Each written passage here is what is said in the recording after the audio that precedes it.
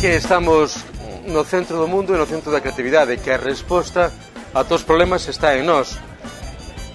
Fora no espazo exterior, falan de rescates e primas de riscos, e dentro agroma a luz da creatividade, esa mensaxe dese círculo de luz que ten que crear a literatura que propuxo e proclamou Marilar, pois que se fixo vida nos premiados e sobre todo na actitude de todos nós, que na nosa creatividade, na nosa ilusión está o principal argumento para inventar o futuro.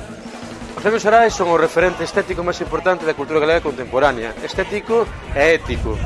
Eh, diante das perguizas e das desillas da, da administración, neste tempo de vou non vou, un acto feito con decoro, xa o dixen, con ética e con estética que nos transmite orgullo e que ampara ese universo maravilloso que é a literatura. Por lo tanto, en fin, que a Administración asuma as súas responsabilidades que afortunadamente a sociedade civil está moi ben representada diante das súas preguizas polos premios xerais.